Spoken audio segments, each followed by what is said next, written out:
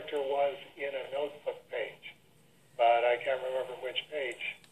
Either, okay, and then you've got one here which is, looks like an early Pud Withers. Uh, what's interesting is uh, the character in the upper left.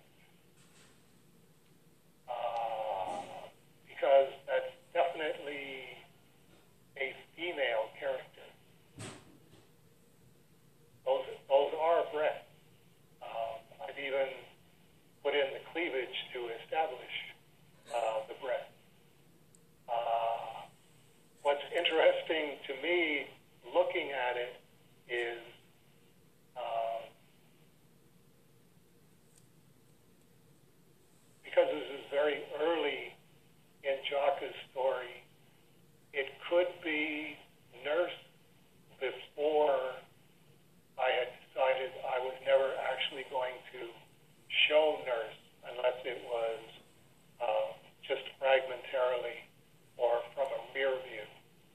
Uh, but it is interesting that as a quick little sketch, uh, if I had, i- if you took that completely out of context and said, uh, here's a drawing that you did, Dave. Uh, who is this drawing of? And I would say, uh, I have no idea. Um, and they said, well, if you had to guess, looking at this drawing and not knowing when you did the drawing or where you did the drawing or why you did the drawing, who do you think this could be a drawing of? And I look at it and I go, could be Margaret Liss.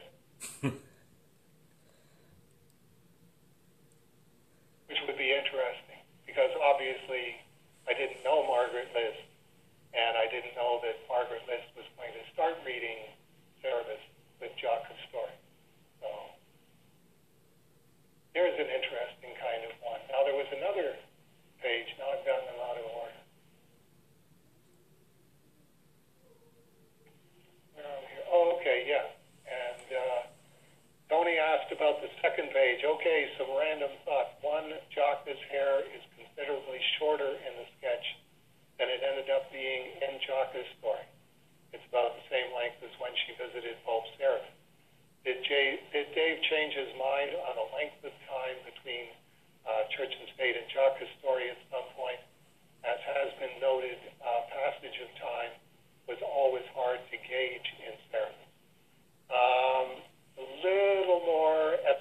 than that.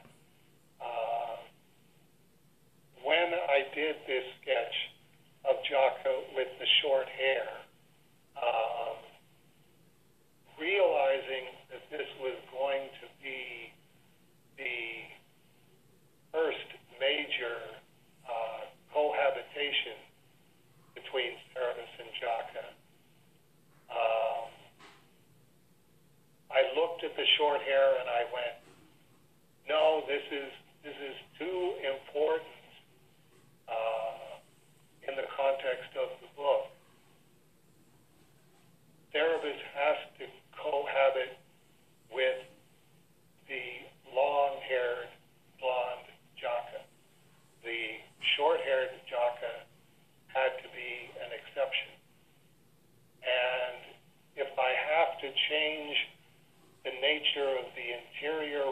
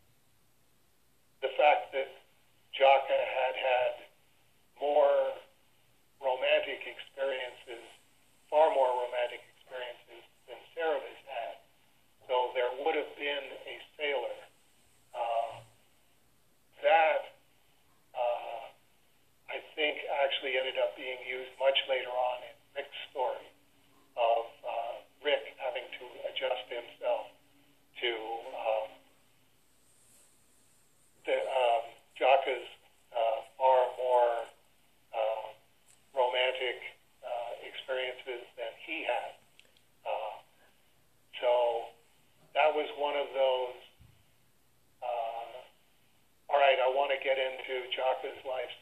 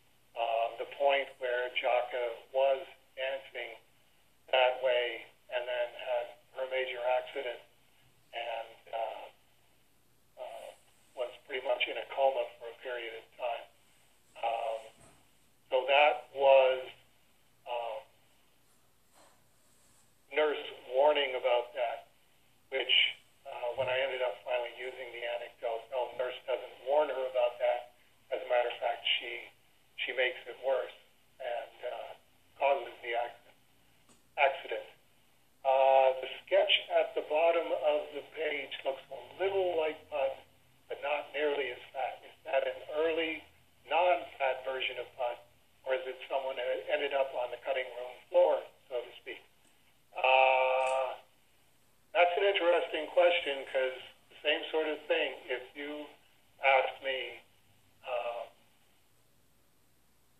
this is a sketch from your notebook.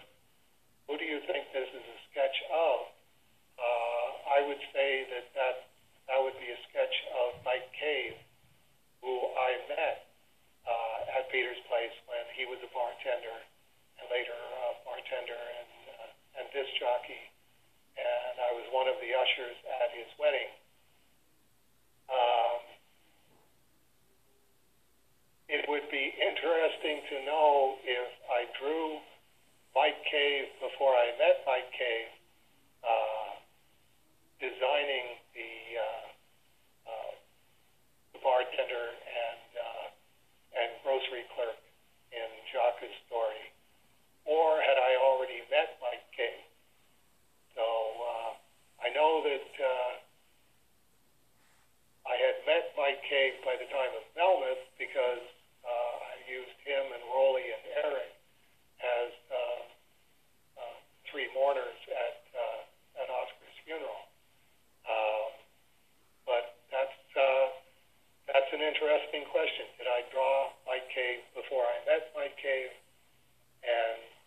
subsequently summon Mike Cave to Peter's place, or uh, was I did I draw Mike Cave early in the time period of knowing Mike Cave?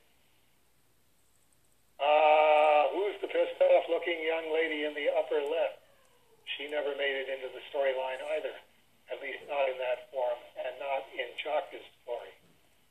Uh, if you ask me.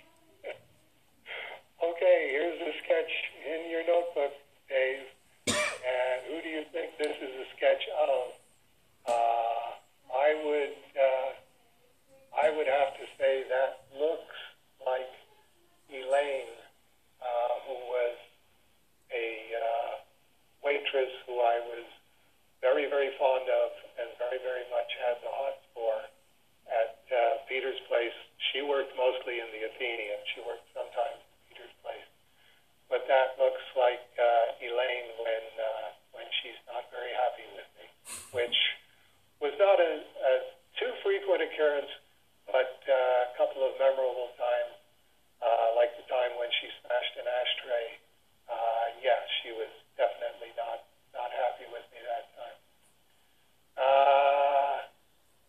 Just off the top of my head. If there's any more from the preliminary planning of Jaka's story, Margaret, I hereby request it. Thanks. And I think I'm safe in saying that uh, Margaret um, twist her rubber arm to talk about and use pages from uh, the Jaka's story section of the notebooks, since it's still her favorite Cerebus story. And Tony asked about the first image. I wonder if that's Pud's mom at the top left. Uh, that's possible. That's possible because there is. Uh, uh, Pud ends up writing uh, his diary to his to his mother and uh, documenting things. I don't know if I had early on the idea of her writing to Pud and uh, having uh, those that correspondence endure. Could be, po- could is possible. Uh, okay, and you're right. I think that's the question Margaret asked me. You know, she has your fax number too. Why am I the middleman? It's it's a tough life being the Amok Grand Poobah uh, with a wink and a smile. Okay, I think that's all the bases. Talk to you Thursday until unless you're still not back from Wonderland. Well, I'm uh, I'm not all the way back from Wonderland. It's it's it's been interesting uh, how it comes and goes, but uh, I hope I was reasonably lucid this time up. Fairly reasonably, yes. Okay, good. And uh, if there's any gaps or uh, any really co- completely unlucid parts that anybody wants to ask about, uh, we've never had a please hold for Dave Sim about a previous please hold for Dave Sim. Uh, there might have been questions that I might have forgot about. I mean, that's I'll post something and somebody will ask them. I'm like, I gotta remember this, and then a month later, it's like, where did that go? Uh, it's here somewhere. If if I really didn't like you, I'd send you a picture of my desk saying, "Explain to me what this is, Dave," and you'd be going, "I don't want to know what your desk looks like, Matt." There you go. There you go. Okay, uh, I'm going to go and get something to eat now. Okay. Thank you as always. Uh, and thanks to everybody who uh, who listens to all this. And I hope you find it entertaining, engaging, and uh, of all three. I second that. Okay, say hi to Paula and Janice and Bullwinkle for me. Will do. Take care.